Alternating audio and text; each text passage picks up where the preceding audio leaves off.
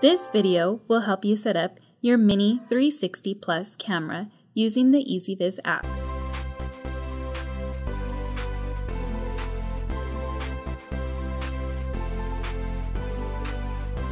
First, plug in your Mini 360 Plus into a power outlet.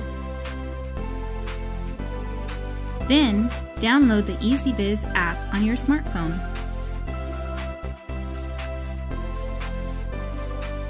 Connect your phone to Wi-Fi, then open the EZVIZ app. Choose New User Registration at the bottom of your screen. Register using your email address.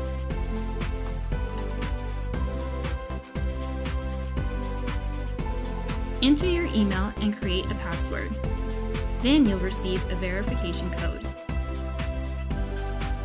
Enter the verification code into the app.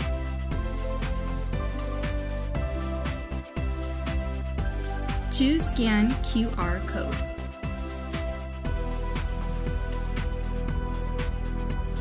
Then scan the QR code on the device.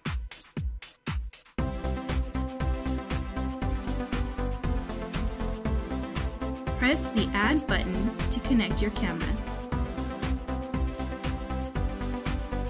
Lastly, select your time zone and date, then choose View Camera. Now you can enjoy your EZVIZ camera.